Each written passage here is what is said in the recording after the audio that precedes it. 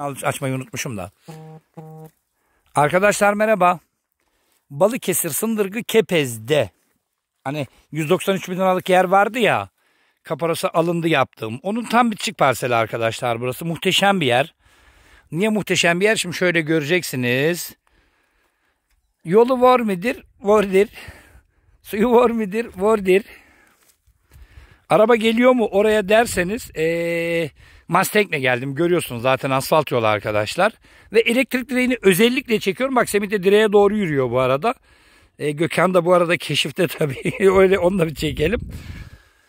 Yani bakın Balıkesir'in köyleri ve benim geldiğim araba 1971 model bir Mustang.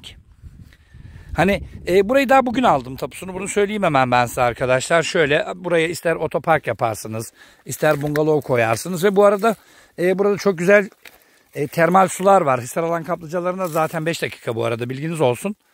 Ve inanılmaz güzel bir yer. Hani zaten görüyorsunuz köyü. E, görüyorsunuz işte alttaki binayı.